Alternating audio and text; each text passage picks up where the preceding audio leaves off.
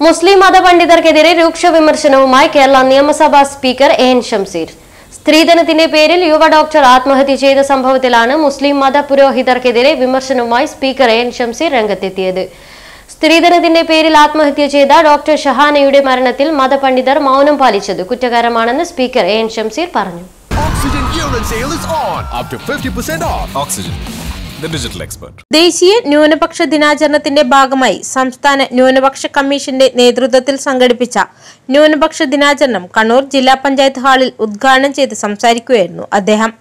മുസ്ലിം മത നിയമപ്രകാരം സ്ത്രീധനം വാങ്ങുന്നത് കുറ്റകരമാണ്. വിവാഹം കഴിക്കാനിരിക്കുന്ന യുവാവിന്റെ മാതാപിതാക്കൾ സ്ത്രീധനം വേണമെന്ന് ആവശ്യപ്പെട്ടപ്പോൾ മതപണ്ഡിതന്മാർ മൗനം പാലിക്കുകയായിരുന്നു. ഈ മൗനമാണ് യുവതിയുടെ ആത്മഹത്യയിലേക്ക് എത്തിയത്. സത്യം തുറന്നു പറഞ്ഞതിന്റെ പേരിൽ പലപ്പോഴും താൻ വേട്ടയാടപ്പെട്ടിട്ടുണ്ട്. ഏത് മതവിഭാഗത്തിൽപ്പെട്ടവരായാലും സ്ത്രീധനം ചോദിച്ചെത്തുന്നവരോട് നോ പറയാൻ സമൂഹം തയ്യാറാകണമെന്നും ഷംസീർ പറഞ്ഞു. ഡോക്ടർ ഷഹന എന്ന പെൺകുട്ടി സ്ത്രീധനത്തിന്റെ പേരിൽ ആത്മഹത്യ ചെയ്തപ്പം കേരളത്തിലെ മത നേതൃത്വം മൗനം പാലിച്ചു. അത് ശരിയാണോ?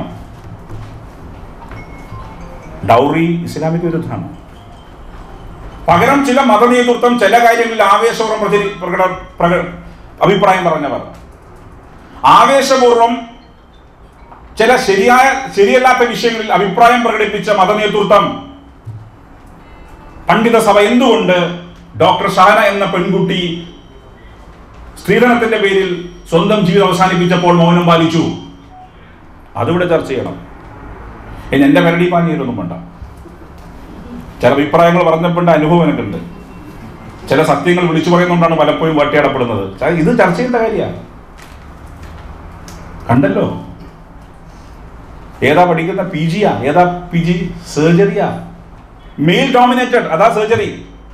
മെയിൽ ഡോമിനേറ്റഡ് ആയ സർജറി പഠിക്കാൻ എത്തിയ ഷഹന എന്ന ഡോക്ടർ അതുവരെ ആദർശം പറഞ്ഞു ചെറുപ്പക്കാരൻ ഒരു സുപ്രഭാതത്തിൽ പറഞ്ഞ എന്റെ വാപ്പ സമ്മതിക്കുന്നില്ല എന്ന് പറഞ്ഞ് വിവാഹത്തിൽ നിന്ന് പിന്മാറിയപ്പം എല്ലാവർക്കും എല്ലാം നേരിടാനുള്ള കരുത്തുണ്ടാവണമെന്നില്ല. അതുകൊണ്ടാണ് പെൺകുട്ടി ആത്മഹത്യ. അതിനെക്കുറിച്ച് കേരളത്തിലെ മതപണ്ഡിതന്മാർ പാലിച്ച മൗനം കുറ്റകരമാണ്. ഇസ്ലാം നിഷിദ്ധമാക്കിയതാണ് ഡൗറി മഹർ കൊടുക്കുന്നില്ല ഇസ്ലാമിക് കൾച്ചർ പെൺകുട്ടിക്ക് പണം കൊടുക്കുക. അതാണ് മഹർ. ഇവിടെ മഹർ പത്ത് പവൻ കൊടുക്കും. പകരം ആണ് നിങ്ങൾ നൂറ്റമ്പത് പവനും പിന്നെ പതിനഞ്ച് ലക്ഷവും ബെൻസ് താകുമെന്ന് പറയുന്നത്. അപ്പൊ അതിൽ കൃത്യം അഭിപ്രായം പറയാൻ തയ്യാറാവണം. അതിൽ എന്റെ അഭിപ്രായത്തോട് വിയോജിക്കാം. പക്ഷേ മുഖ്യധാര പണ്ഡിതന്മാരെല്ലാം പാലിച്ചത് മൗനമാണ്. ഒരു മതവിഭാഗത്തിനകത്തും അത് മുസ്ലിം ആവട്ടെ ക്രിസ്ത്യൻ ആവട്ടെ ഹിന്ദുവിനകത്താകട്ടെ ഇത്തരം തെറ്റായ ശീലങ്ങൾ വരുമ്പം അതിനെതിരെ ശക്തമായ അഭിപ്രായം വരണം. ഏതായാലും ന്യൂനപക്ഷ കമ്മീഷൻ കണ്ണൂരിനെ തെരഞ്ഞെടുത്ത് ഇത്തരം ഒരു സെമിനാറിന്